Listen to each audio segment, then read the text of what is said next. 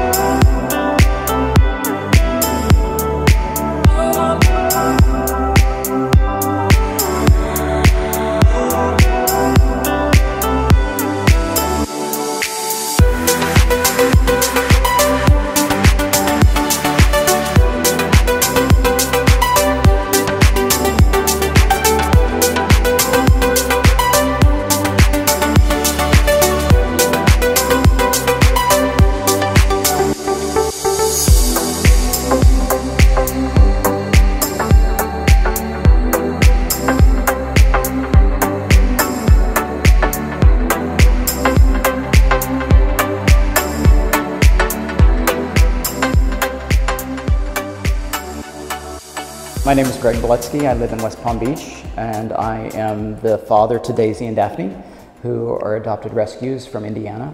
Um, they were breeder dogs, um, siblings, sisters, litter mates, and I've had them for over a little over two years. Got them about two to three weeks after my 10-year-old terrier passed away, and uh, wasn't finding much of a reason to come home because there was nobody to come home to.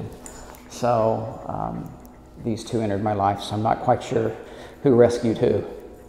Not only do um, I support uh, rescue groups uh, throughout, um, I also initiated a, a, Turtle Tuesday beach cleanup in Palm Beach.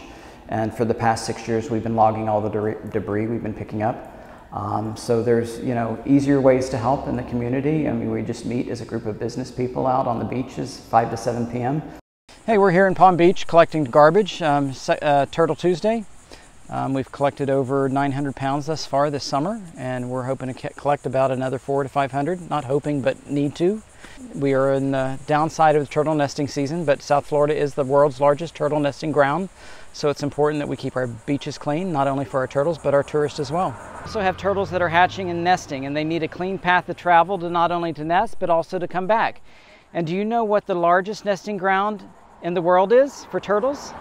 Right here so that's why it's so important. South Florida is the world's largest nesting ground for sea turtles. You know the other bit that's interesting? They come back to the place they were born every year to nest. So that's why we want to keep it a clean, pristine place. All right, so we're going to give you some gloves. We're going to give you a garbage bag. Pick up only as much as you can carry back, but every little bit counts. So don't pass up the little bits because that just get, gets washed back out and the turtles ingest it and they can die.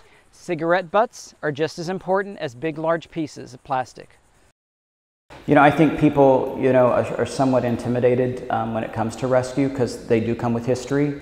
Uh, but they're loving dogs, and if you, if you can't rescue dogs or, or animals, um, there's always ways to give back. And most of them keep wish lists on their, on their websites, and you don't even have to leave the house. You can order through Amazon.com and have it delivered. Um, donations are a great way to go as well. Um, and there's just plenty of opportunity to volunteer. They're always looking for volunteers, whether it be to come in and care for the animals or help out at the front desk or um, help with the fundraising. Um, most of them are a nonprofit and rely on donations to, to survive.